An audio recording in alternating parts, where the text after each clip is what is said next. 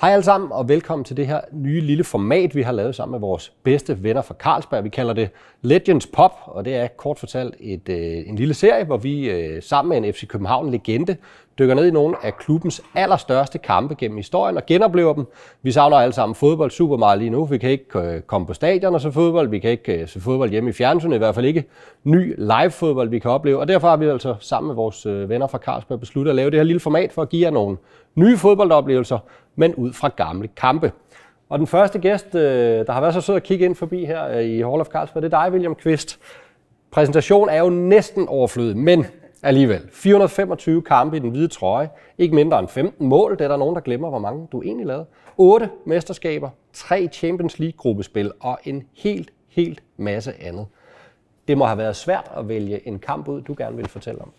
Ah, hvis der kun var én kamp, så vil jeg sige, så uh, højdepunktet må trods alt være Barcelona hjemmebane i parken. Så, så nej, så svært var det egentlig heller ikke. Det gik rimelig hurtigt. Og så fik vi altså fløjtet forestillingen i gang, som uh, der altså har været kogt op til i usædvanligt mange dage. Det er selvfølgelig fordi, at folk også har glædet sig til at se de fine spanske gæster, der er kommet her en tur til uh, København. Så lad os prøve at hoppe lidt tilbage i tiden. Helt præcis tilbage til 2010 i efteråret der.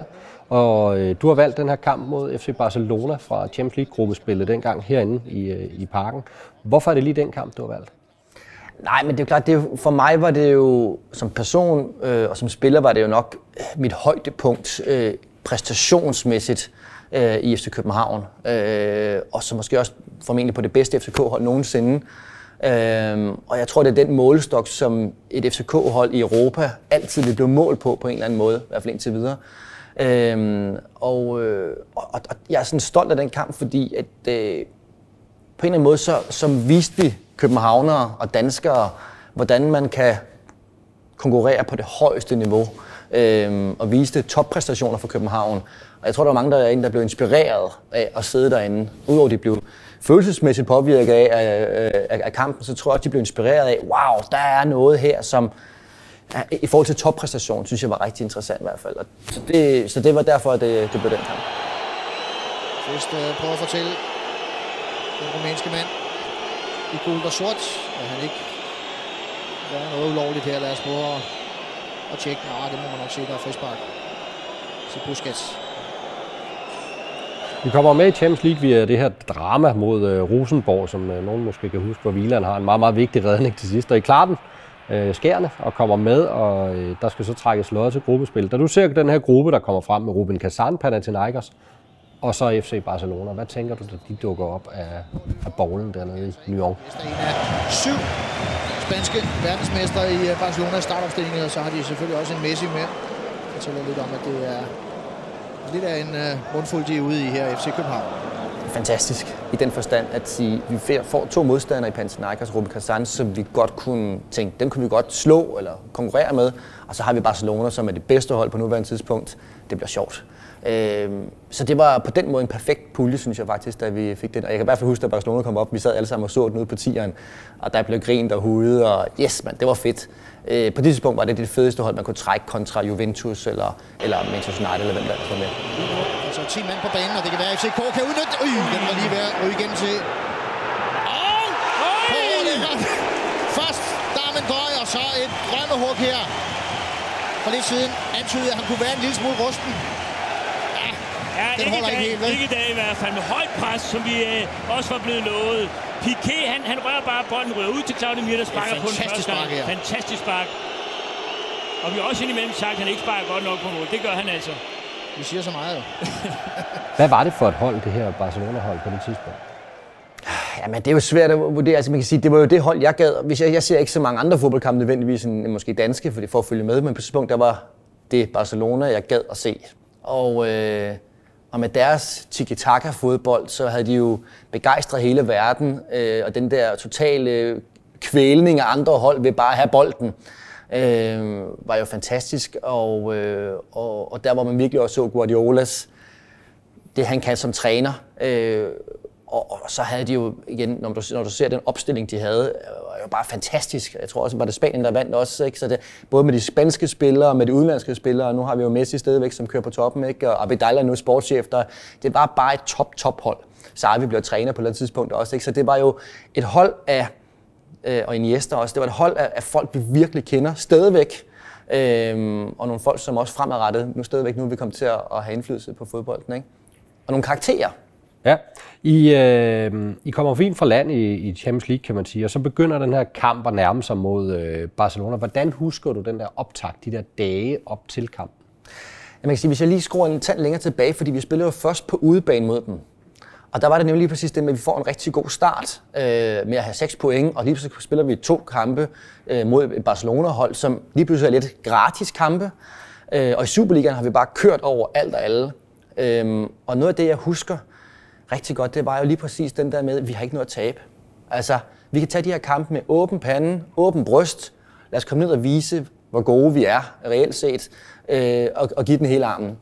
Øhm, og, øh, og det var jo øh, det var en fed følelse. Jeg kan huske det med, at vi, vi, vi flyver til Barcelona, og jeg kan huske, at der er rigtig mange, der siger, hey, der ligger New, New Camp nede, vi kunne kigge ud fra flyet, ikke? og wow, det er stort, og der, folk griner, da de kommer ind på stadion, fordi det bare er en, en fed oplevelse at komme på New Camp. Jeg tror kun, det var Grønkær, der havde været der før, ikke? Altså andre havde måske været der som turist. Øh, men, men så den stil der, hvor det, hvor det var det der med at sige, vi tager Barcelona-kampen som fedeste oplevelse, specielt udbanekampen, og lidt, jeg siger ikke turisttur, men, men den stil der, vi giver den hele armen. Og der jeg husker dernede, der fik vi det der, det der tempochok i starten, der kom også bagud, og de første 20 minutter, hvor vi blev kørt rundt, ikke, og så videre. Men jeg husker også, at vi tog rigtig meget med fra kampen, hvor de faktisk blev rigtig irriteret på os. Øh, og, og begyndte at skændes lidt og så videre. Så vi gik faktisk fra kampen, selvom vi taber 2-0, med sådan en god fornemmelse at sige, okay, hvis vi tager de der 20 minutter ud af starten med tempochokket, så er det faktisk ikke så dumt. Og det tror jeg, det er det, der var ligesom optakten her også at sige, okay, inde i parken regner vi ikke med. Det er os, der kommer til at give dem lidt tempochok, vil vi, kunne, vi, kunne vi forvente måske, eller kunne vi håbe på i hvert fald, ikke? Med, med vores tilskuer på. Ikke? Så derfor var der den der gode selvtillid, den der gode med at sige, okay, vi har stadig 6 point, lad os give den alt, hvad vi har. Spoler tilbage og tænker på, hvilken start FC København fik på, på kampen nede i Barcelona, så ser på, hvordan det er forløbet indtil videre her. Så er der en markant forskel selvfølgelig. Der er ikke blevet kørt over overhovedet, udover Darman Døjer blev det. Og så rent spilmæssigt, der har de matchet det første kvarters tid her.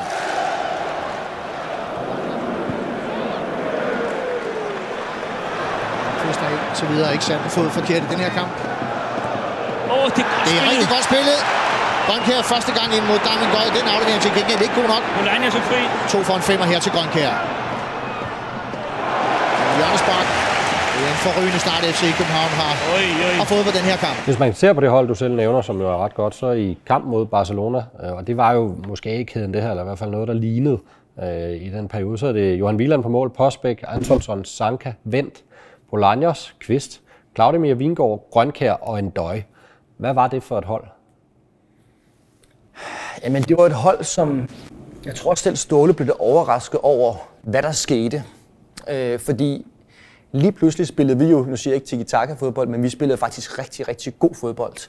Hvor du måske kom fra nogle år lidt mere med, med Gravgaard og med Hangeland og med Lars Jakobsen og lidt mere, undskyld mig, ud på Lars Jakobsen og så en lang bold ned bag dybden op på Albæk.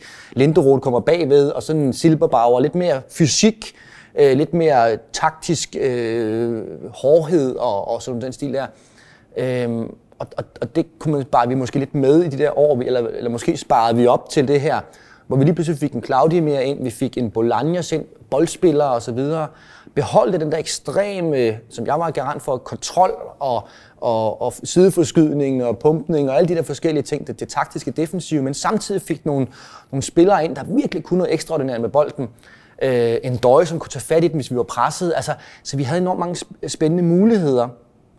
Og der var det i det hold, jeg har spillet på nogensinde, som, hvor det bare klikkede med at finde de løsninger, de rigtige løsninger i hver kamp. Øhm, og, øhm, og jeg kan huske, det tror jeg aldrig, jeg har prøvet før, trods alt, men, men Ståle går jo meget op i, for eksempel dagene dagen før kamp, eller når vi træner, så træner vi for eksempel 11 mod 11. Så siger han, okay, nu er der først fem bolde, hvor at det hold, der skal starte inden, har fem bolde mod sig. Altså så defensivt, så står man defensivt, så løber man bum, bum, bum. Og når Ståle synes, det ser rigtigt ud, godt, fint, over til det offensive. Og der kan jeg bare huske, at der var nogle træninger op mod Barcelona-kampene, hvor han, normalt er det en 5-10 bolde måske, sådan som lige for os, hvor han bare sådan, en bold, fint, vi er færdige. Det så så godt ud. Det var så perfekt, at han, jamen hvorfor skulle vi træne det mere, når man nu var det så godt gennem kræfterne, fordi det her, det ser så godt ud. Og det tror jeg ikke, jeg har prøvet før. Jeg tror, jeg, det var en, en take, fint, vi kører videre, ikke? Xavi, hvad finder han på? Iniesta ligger godt ude i venstre side. Det er ham, der kommer til den der. Iniesta. Og der er FCK-tilskuere, som skal være rigtig glade for, at William Kvist havde læst den situation. Det er jo et super godt hold, og det lyder som om, I var rigtig dygtige. Men hvis jeg kigger på modstanderen, ja. så er det Victor Valdez i mål, det er Dani Alves, Puyol, Piqué, Abidal, fransk verdensmester på venstre bak. Øh, midtbanen, der hed øh, Sergio Busquets, Xavi, Keita, så havde de Iniesta, David Villa og Messi fra start i parken. Hvad? du skal fortælle lidt om det hold. Hvad er det så for et hold? Ja, men det kan man sige, der, bare lige for os at få sige, at, at Barcelonas tanke var jo bare at sige, okay, nu havde de også vundet nogle kampe før, så de, nu vinder vi lige to kampe over FCK, og så er vi videre i Champions League, så kan vi slappe af de sidste to kampe, kan man sige. Ikke? Så det er også derfor, de stiller med A-kæden i de her kampe her, tænker, at nu skal vi bare lige mase over de her københavner her. Ikke? Nej, men altså, du kan jo smile, fordi det der, det er jo fantastisk. Ikke? Altså, jeg har jo selv været stor fan af Busquets i mange, mange år, ikke? og Sarvi og Iniesta, og ja, selvfølgelig Messi, kan man sige. Ikke? Øh, og hvis du så lige krydder det med den der bagkæde der, ikke? Som, øh, som trods alt er meget god, så kan du jo bare sige, at det er jo bare fantastiske spillere. Ikke? Øhm, og så synes jeg, det der var, det var, det var, det var i starten, så vidt jeg forstår, eller så vidt jeg husker, var det i starten af den der tid, hvor man bare hvor man så Barcelona-fodbolden, som bare flød på en anden måde, hvor man bare tænkte, okay, hvordan vinder man over det? Godt spillet det her frem mod David Villa. Det er godt spillet. Ja, det må man sige. Trykker af 1-0. Var det så tæt på at blive her? Og så står der altså 1-1 i øh, stolpeforsøg. Sidste kamp, vi spillede mod dem, var ikke behagelig. Jeg tror, ikke, de, jeg tror godt, de vidste, at det ikke nødvendigvis ville blive en nem kamp. Øh, hvilket det heller ikke blev for dem. Og, øh, og måske noget af det, som Ståle tit siger omkring at spille europæisk, vi prøver at give dem noget, de ikke er vant til. Øh, og de var ikke vant til den måde, vi spillede på, med sideforskydningen, og reelt set kun at koncentrere sig omkring, hvor er bolden, og den, der har bolden, og ikke så meget det.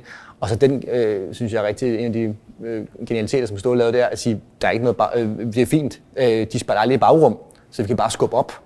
Øh, og der tror jeg, de var mere vant til nogle hold, spanske hold, eller øh, internationale hold, som siger, okay, vi er også gode en mod en, så vi kører næsten en mod en på hele banen. Og der er Barcelona tit, der var de for gode, og så spillede de ligesom igennem, og så kom der nogle store huller.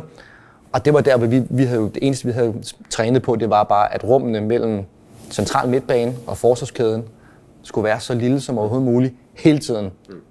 Whatever. Lad dem, de spiller ikke indlæg, så bare det der med at sige, jamen hvis der kommer en bak ned på, på kanten af vores øh, felt, vi er ligeglade. De skal bare ikke kunne spille den imellem os. Fordi indlægget, jamen de vil godt spille ind til Messi eller, eller øh, David Villa. Der håber vi så på, at Sanka Andersen nok skulle tage den, kan man sige. Ikke? Så, så det der med, at vi har læst den på den måde at sige, vi afgiver, at de kan slå indlæg, vi afgiver øh, et bagrum, for de løber ikke derned, og de slår ikke indlæggene. Og det, det, det gav jeg sådan en ro i at sige, okay, så længe vi ligesom bare gør de her ting, så er det fint. Så med kort afstand mellem kæderne her, det er Messi, prikker den lige, det er godt lavet her. Den øh, fortsætter. Det er uh, altid angrebs ivrige, afslutningsløsende Dani Alves. Men meget interessant for kampen, Carsten, synes jeg, at, at det lykkedes FCK så tidligt, så hurtigt at lave en, en, en hektisk kamp. Altså, hvor de tørker op og presser højt. Det kan vi se. Det er, det er en del af gameplanen, en del af taktikken. Hvor hurtigt fik du den der fornemmelse inde i kampen om, at I var med? Jamen, jeg tror, at det var faktisk relativt tidligt. Øh, jeg vil sige, at øh, jeg husker kampen. At jeg havde med ekstrem fokus på Messi. Og øh, ham har du aldrig helt under kontrol. Så det var ikke sådan, jeg løb rundt med sådan en, øh, en, en, en, en, en... Altså, der var en opgave for mig i altid, selv når vi havde bolden, hvor er han henne? Sådan så hvis der var blevet en kontra. Øh, så jeg, har ikke, jeg, jeg husker ikke, at jeg havde en, en rolig fornemmelse i løbet af kampen. Jeg havde en kontrolfornemmelse af at sige hele tiden, okay, jeg har en kontrol kontrolfølelse, og det kom faktisk ret tidligt, tror jeg. Ja, det er jo ikke alle fodboldspillere i den her verden, der lige tør forsøge at afdrive 3-4 mand på en gang. Nej, nej, men altså man kan sige, det som de gør godt her i FCK, det er, at de får lukket ned med, med tre mand i det her meget lille område, får de bakket op på den første spiller, der går op og møder Messi. Ja, der er jo en episode ret tidlig i kampen med en lang bold, som en døje løber på, og, og et sammenstød med, med Valdez. Hvordan husker du den situation der? Hvad tænkte du? Altså jeg husker jo på, at jeg tænker, at det er rødt kort. Det må være rødt kort, fordi så vidt jeg forstår, eller så husker jeg, så rammer Valdez ikke rigtig bolden. Og bare det ser så voldsomt ud, og fuldstændig alt muligt. Men så vidt jeg kan huske, så er det nærmest frispark til dem, eller hvad er det for noget? Eller det offside, eller hvad er det? Ja, der, der, der, han får i hvert fald ikke rødt kort. Nej, og, det, og, og der kan jeg godt huske sådan et, okay, det var, det var, det var en af de tider, hvor det virkelig kunne have været sjovt. Altså kunne man se, at de havde fået rødt kort der, ikke? Og øh, havde vi så kultur og gå efter sejren, ikke? Og, og kunne tage bolden fra 10 Barcelona-spillere stadigvæk, så havde det selvfølgelig været, det havde været en af de der game changer i den kamp, vil jeg sige. Fordi Ellers der husker jeg jo kampen som sådan, ikke kedelig, det var slet ikke kedelig, men, men det var ikke fordi, der var masser af chancer i begge ender, men jeg husker det som en enorm intens kamp, fordi vi var så fokuseret i vores, og det var meget sådan en måde at spille på, mod en anden måde at spille på, som sådan stod i en eller anden og vibrerede mod hinanden. Ikke? Øh, så så det, det havde været en af de punkter i kampen, som kunne have gjort en stor forskel. Kan udelukke, at Darmendøj kan få noget ud af den her. Valdez, der er tæt på. Hvis der bliver fløjtet noget her, så skal han vel ud med et rødt kort. Han skal ud. Ja, det skal han da, Valdez. Kommer fuldstændig, og det er, ser rigtig alvorligt ud, det her. Når man kigger på spillernes reaktioner. Det er noget, vi har set tidligere. Når målmænd kommer ud på den måde, Per, så, så går det tit rigtig, rigtig galt. Ui, ja.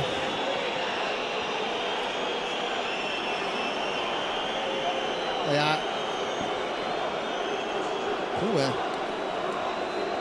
Prøv at se den her. Lang bold fra William Kvist. Pujola i vanskeligheder. Og det er måske også det, at Valdez kan fornemme. Og så for... Ui! Den er altså lige i hovedet, den der. Er det ikke til rødt kort også? Jo, jo, Selvom jo, det er jo, jo, uvæsentligt jo. lige nu i virkeligheden, ikke? Jo, fuldstændig uvæsentligt, Ja. men selvfølgelig Ej. er det det. I kommer jo øh, I kommer så bagud. Øh, Messi havde du ikke, som du sagde, styr på hele tiden. Øh, og han får scoret. Hvad, hvad, hvad tænker du der, når de så får lavet det der? Fordi Wieland har inden jo haft nogle rigtig gode redninger, og I, I er jo godt med. Så får de alligevel scoret det der mål med lidt pingpong ind i feltet, og så rammer han selvfølgelig. Øh, Hvad tænkte du der? Ej, men øv, fordi det er klart, at der, der kunne vi jo vi kunne jo mærke stemningen derinde, og vi kunne jo mærke, at, vi egentlig var godt, vi egentlig godt fat øh, i kampen. Øhm, og noget af det, vi måske ikke havde forestillet os, det var at score en 2-3 mål mod Barcelona, vel trods alt. Øhm, så det er klart, det var, det var virkelig en mavepuster. 1-0. FC Barcelona. De skal altså bare Ja, have en halv mulighed, så scorer de, når de har ham her. Han har ikke spillet specielt godt. Nej, men øh, han, han, han søger væk fra midterforsvaret og kommer så løbende ind fra andet geled. Det er Keita, der, der skaber den her situation ved at tage et dybt løb frem øh, i midterforsvaret hos FCK. Og, ja, det, det er lidt uheldigt, den bold ikke bliver samlet op. To mål i det første opgør mod FC København, og et mål her. Keita hælder den på tværs. Der kommer Messi så i anden omgang og henter bolden. Det er David Villa, den ryger fra ham. To forsvar går på bolden, og så har Messi pladsen til at løbe ind til den. Kan du huske din, sådan, altså det er svært at beskrive sådan noget, det er en rigtig sportsjournalist spørgsmål, men din følelse der, da bolden går ind, hvordan, hvordan vil du beskrive det? Jamen, altså, det var jo en, det var en mavepuster i den forstand at sige, øv, vi havde sådan håbet, at, det, at, at, at vores koncept om kontrol øh, ville, ville, ville fungere. Og det der var jo sådan lidt klude, ikke kludemål, men det var jo sådan lidt et, et atypisk Barcelona-mål faktisk, fordi vi havde jo ligesom tænkt, det ville være en, en, en, en, en, aflevering mellem mig og Claudio, måske på en eller anden, der ligger af til Messi, som så ligger den dybt, og så skråt tilbage, og så ind. Det, det var lidt mere en lang bold på Qatar, som ligger den til Messi, som Antonsen, tror jeg, jeg lige snakke med Antonsen omkring det der, men han, han ikke lige fået den afklaret ordentligt, ikke? Øhm, så det var jo sådan et øv, at det var det mål faktisk, kan jeg huske. Hvis de så bare havde lavet det, som de lavede nede i Barcelona, hvor de spiller os, i, os flade, og, og, og Messi lige lægger den ind øh, lang, langt hjørne. Okay, fair nok, det var så det, de var gode til. Det her, det var lidt mere sådan et øvmål i forhold til, at der lavede de noget andet, end vi havde forventet. Det er en scoring den anden vej. Her er det Grønkær, der rykker. Og den kommer, den kommer, den kommer! 1-1! Claudemir, der havde en anden god mulighed i kampen. Og så den omvendte, da I så får udlignet, hvordan var følelsen så der?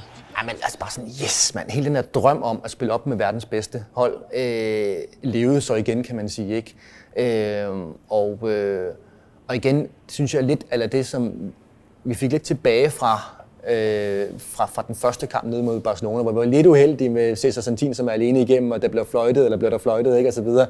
Tredje målmand, der, der snyder, og så, altså sådan lidt, yes, der fik vi dem endelig-agtigt igen, ikke? Øh, og, øh, og derfor kan du også, jeg tror ikke, at det, jeg har en position på sådan et hold, som er meget kontrollerende. Og derfor er det sådan mere koldt beregnende. Ja. Altså, jeg tror, hvis du kan se de der øh, øh, scoringer, hvor jeg, hvor jeg ligesom, øh, hvor jeg ligesom, hvad hedder det, øh, øh, hvor vi fejrer det.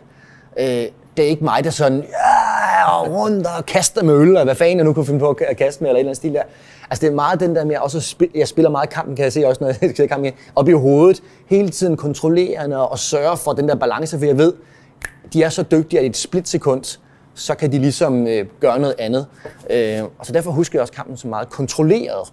Og, øh, og måske er det måske mere bagefter, jeg sidder med sådan en følelse, wow, det, det er jo det vildeste nogensinde. Og en rigtig god medicin mod øh, uh, det FCK lige har oplevet. Det er en scoring den anden vej. Her er det Grønkær, der rykker. Og den kommer, den kommer, den kommer! 1-1! Claudemir, der havde en anden god mulighed i kampen. De smager deres egen medicin her. De blotter sig ned i forsvaret.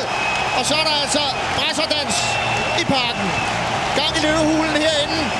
Og Guardiola, der var så glad for lidt siden, kan konstatere, at det kan godt være, at Barcelona har en argentiner, men de har en brasilianer Men, men, men i FCK. sikke en reaktion fra det her FCK-hold. Oscar Wendt spiller den dybt til uh, Jesper Grønkær, der glider af på Alves. Der kommer sparket, så kan sige igen. Hasarderet forsvarsspiller Alves, synes jeg, sat sig i den situation. Vladimir, det mere, der snyder Alves sparken i det hjørne, hvorfra Valdez han kommer. Han lagde op til målet mod Rosenborg.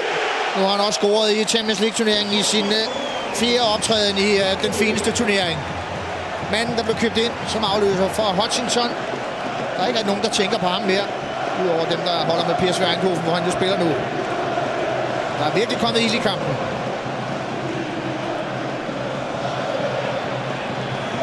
Sådan. Og det er altså... Der skal han slippe den. Er lidt overrasket. Folk har lagt mere tid til her i en første halvleg, som har været rigtig underholdende. Messi på scoringstavlen, og det samme kan vi så heldigvis også konstatere, at Claudemir har været. Og på den baggrund, vi Da I går ned til pause, jeg ved, det kan være svært at både forstå, hvad Ståle siger, men måske også at huske det bagefter. men kan du huske, hvordan følelsen var der nede i omklædningsrummet, da I går til pause med, med 1 Ah, men det var jo flyvende jo. Altså elektrisk. Øh, fordi at nu vidste vi, hvad det var. Altså, vi har jo ikke spillet mod Barcelona før på hjemmebane. Og derfor er der nogle gange altid sådan en usikkerhed omkring, hvordan føles det? Hvad er det for noget? Kommer de med noget, vi ikke havde set, ikke kan dem op for? Og der kan man sige, det havde vi set. Vi havde set, hvad de kom med. Vi havde set, at de ikke kunne komme igennem os øh, på måske deres normale vis. Så der var der bare så meget sådan, yes, nu bliver vi bare ved. Vi holder fast. Vi skaber nogle små chancer. Vi skaber nogle ting. Så nu har vi muligheden stadigvæk. Så det var, jeg kan huske, at Ståle var jo, øh, han passer på med at rose, fordi så bliver man måske nogle gange sådan lidt, oh, et eller andet. Ikke? Men, men, men, men jeg kan huske, at han bare sådan, jeg tror næsten, han nævner det der mål omkring, at det var ikke et, det var ikke et typisk Barcelona-mål. Så vi har gjort det helt rigtigt i forhold til at dæmme ned for de ting, der er, øh, og, og så videre. Så jeg tror egentlig, han var meget sådan, kære venner, slap af, drik noget vand, drik noget øh, energidrik, ro på, vi gør det rigtigt, deres mål var fint, sådan og sådan, men altså, så det var ikke, der var egentlig ikke noget stort. Jeg tror bare, han, han ville prøve ikke at få os ud af det, vi egentlig i forvejen følte, for han kunne se, at vi var i, i kontrol. Så skal man måske passe på med at putte alle mulige nye tanker, eller alt muligt andet, eller alt for mange konklusioner nu. Han tror egentlig, at han ville prøve, at vi var så meget i flowet stadigvæk. Og vi sidder selvfølgelig og krydser fingre for, at Valdez endnu en gang kommer til at gå ind og hente bolden ind i sine netmasker. Det er jo et første gang nogensinde, at dansk hold her i Danmark har formået at score mod uh, FC Barcelona. Hvordan føles det så, da I går tilbage på banen? Er I, rammer I det flow, synes du, Jan? Eller? Så vidt jeg husker, så ja.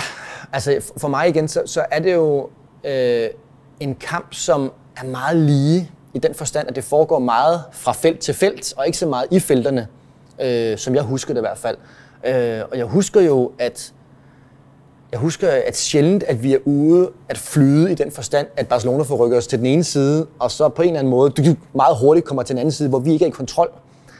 Jeg husker også, at vi fik løbet mange meter, øh, men fansene var med til at give os vinger den aften, øh, og adrenalinen. Øh, så, jeg, så, så det er det for mig, der husker jeg den der taktiske udfordring, det var for mig hele tiden, at være med til at holde holdet i balance, øh, være med til på de rigtige tidspunkter at kunne op, komme op på en Zavi, som ikke er retvendt, men faktisk har ryggen mod sig, og som er nødt til at spille bolden tilbage. Hver gang de gjorde det, det var det en sejr for os. Så vidste jeg, at bagkæden var lige bag ved mig. De spillede ikke i bagrum, så jeg kunne også godt komme længere frem. Altså, så, så det der med, at, at jeg tror, at folk nu kender godt vores pres, vores måde at presse på, når de ser kamp, selv mod Sønderjyske og så videre. Øh, men det er klart, at alle mand var jo bare ekstraordinært opmærksomme øh, på det den dag og hele tiden med, hele tiden. Så det, det tror jeg, man kunne både ligesom tage som en lærebog i forhold til, hvordan man gør det. Rigtig gode til lægge presset. Er også god til at få noget ud af det. Ja, men igen er det grønkær på Busquets. Går ind og erobrer bolden endnu en gang. Busquets er, er kommet dårligt i gang med anden halvleg. Jeg synes, det virker tungt. Vi er stive benene. Det er faktisk igennem anden halvleg.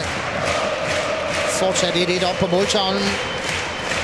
Og det vil absolut være et øh, fabelagtigt resultat at hive ud af en kamp som den her mod et af verdens absolut bedste fodboldhold. Undervejs i anden halvleg, hvor føler du kampen er på vej hen? Altså føler du, det er en kamp, I har fat i, eller i, hvordan er følelsen der? Ej, ja, så vidt jeg husker, så har Barcelona et par gode perioder, hvor de spiller også trods alt meget tynde, og, og, og, og ikke meget tynde, men kommer, hvor vi kommer længere ned. Øh, så, så det er sådan lidt, og der har jeg, vi ikke, så vidt jeg forstår, husker, har vi ikke mange perioder, hvor vi kommer den anden vej. Altså, og der tror jeg, der kommer lidt ind i holdet. Jeg kan også huske det selv, så når jeg tænker tilbage lidt i holdet, så siger, okay, 1-1 er fint. altså i hvert fald til sidst i kampen og siger, okay, vi, vi, vi er ikke tvunget til at skulle spille ind. Vi, vi vil bare have, at kunne give alt i de her kampe her. Om det så bliver 0 point, det var fint. Så der, der er til sidst, hvor tror jeg, øh, sidste kvarter, 10 minutter i hvert fald, hvor man siger, okay, 1-1 er fint. Lad os nu holde det, koncentrere. Og det er det, jeg husker. Koncentreret kontrol på det, vi er allerbedst til. Øh, at, at gøre 11 mand til 12 i, i forhold til det, det taktiske øh, og, og, og hjælpe hinanden i forhold til det der. Fikst. Elegant. Og Bolaños får ikke lige indstillet sigtekornet her.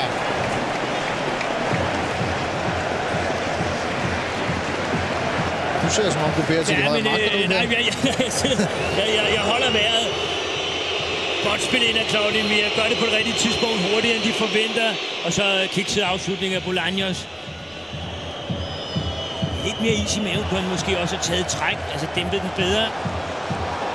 Perfekt forarbejde, William Kvist det laver her i spillet. Altså jeg vil sige, der blev bygget så meget op til de her kampe her, og blev jo talt om århundredes kamp og mulighed for alle de her ting her, ikke så videre. Og, og vi var jo, altså jeg, jeg har en ret god fornemmelse af, hvordan vi spiller, og en ting er, at jeg kender resultatet, men, men, men jeg kunne jo se på Barcelona-spillerne, at de var irriterede.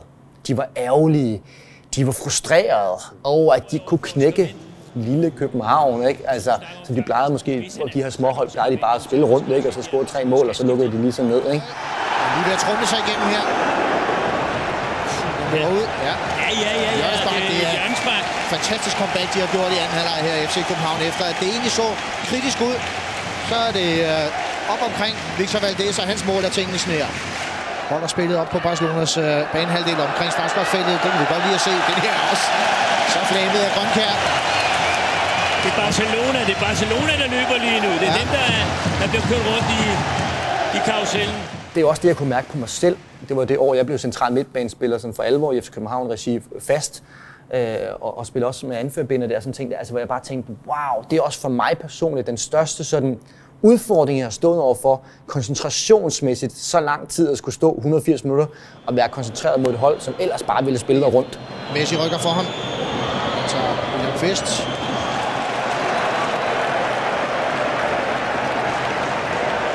I overtiden så har øh, Pedro, som jeg husker det indskiftet, øh, et skud, der rammer stolpen. Kan du huske den situation?